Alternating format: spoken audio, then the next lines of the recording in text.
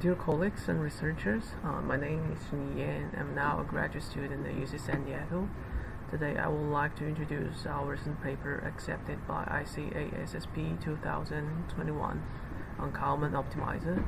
We introduce a Kalman filter in gradient descent to reduce the noise and variance in the gradient. Let's get started.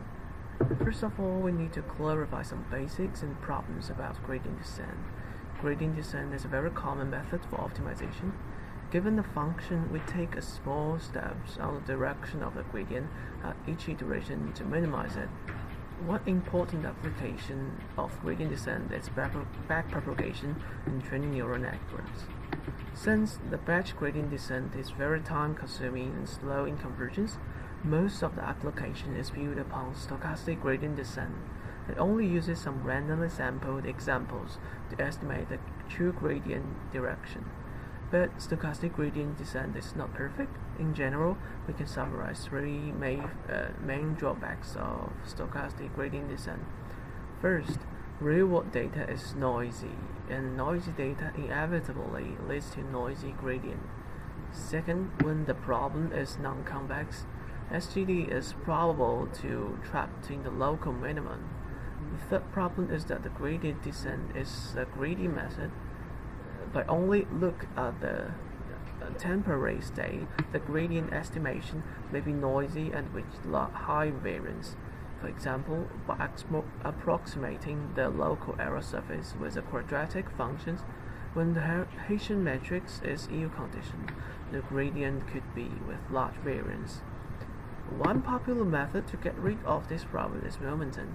It keeps a rounding average term of the gradient called momentum. Then we can update the parameters by weighted sum of the current gradient with the rounding average. A lot of more advanced methods are built upon this, like Adam, Adamax, uh, then Nadam, and Adams grade.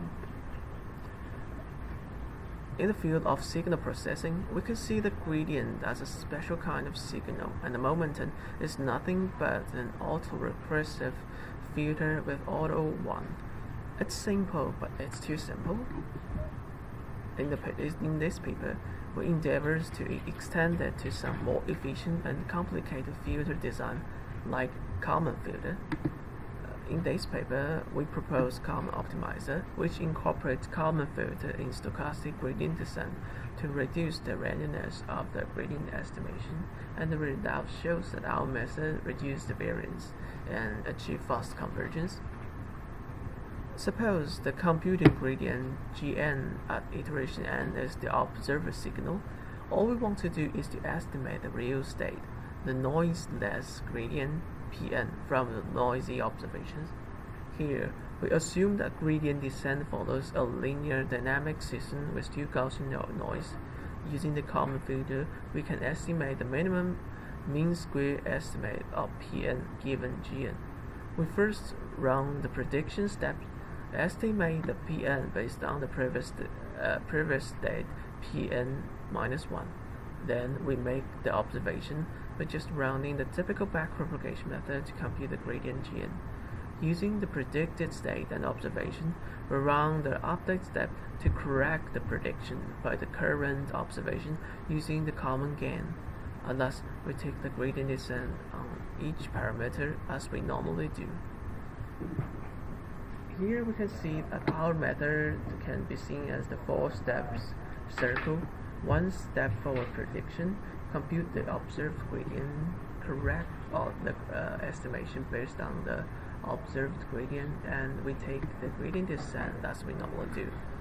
Since running the full Kalman filter of each parameter is quite expensive, we adopt a scalar Kalman filter for all parameters all the parameters are predefined when we search them via grid search. Then we study the effectiveness of the proposed Kalman optimizer via three experiments. We do a non-convex optimization problem and we train two neural networks on different datasets. We compare three methods, the Kalman optimizer, the vanilla stochastic gradient descent, and the momentum method. First, we study a simple case. We define a two-dimensional non-convex function f and fx, and given the same starting point, we would like to find its minimum using three methods and two different step size choice. We visualize the optimization trajectory on the ob ob objective function. We see, see that in the middle pictures, uh, the for small step size, both momentum method and Kalman optimizer finds the global minimum, but the uh, SGD fails in such case. And for large uh, step size, we can see that, that the momentum method uh, large variance in the gradient estimations, uh, but the Kalman optimizer uh, gives consistent estimate of the gradients, and the SGD also attracting the local minimum.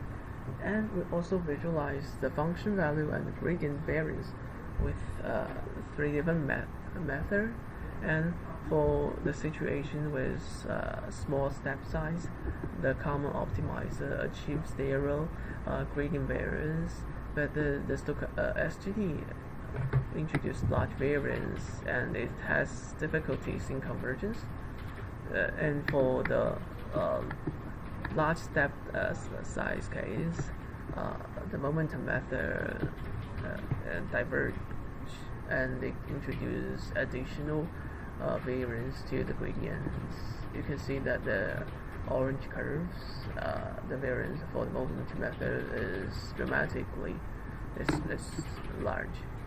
And we also uh, train a multi-layer perceptron on MNIST uh, using three methods and different learning rates and batch size.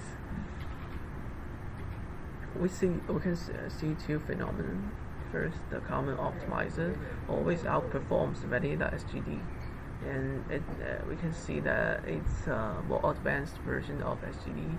And the second observation is that for the uh, small learning rate and uh, large batch size, the gradient estimation for the moment method is very uh, consistent, and so that it achieves the best results.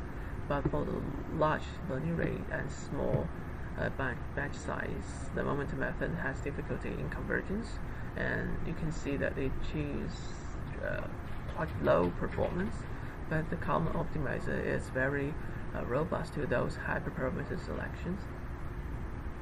And we also uh, run the uh, ResNet uh, 18 experiments on CIFAR 10 uh, using three different batch, uh, batch size and well, we see that uh, the, the same situations for the small uh, batch size case, uh, the the momentum method uh, mm, just pull uh, did pull and the SGD method always introduce additional noise and variance in the training curves, and we see the same phenomenon that for large batch size, the uh, the moment method excel, excels but for small batch size case, the Kalman optimizer is less sensitive to the uh, to the hyperparameter select uh, choice.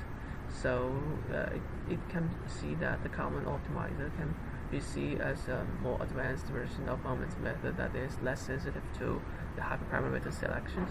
And we also compare the runtime. Uh, we compute the average backpropagation time per iterations uh, for multi-layer perceptron MNIST and uh, ResNet 19 on CIFAR 10.